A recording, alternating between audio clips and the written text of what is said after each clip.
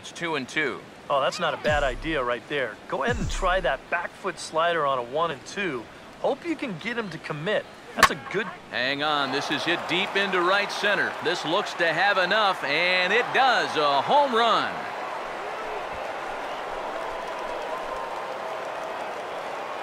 So a solo shot there for Michael Cuddyer.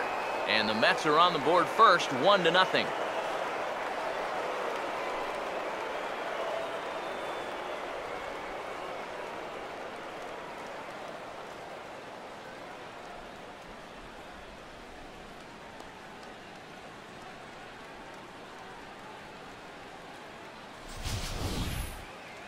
This is just a fastball right here, but I'm pretty sure it's not where he wanted it.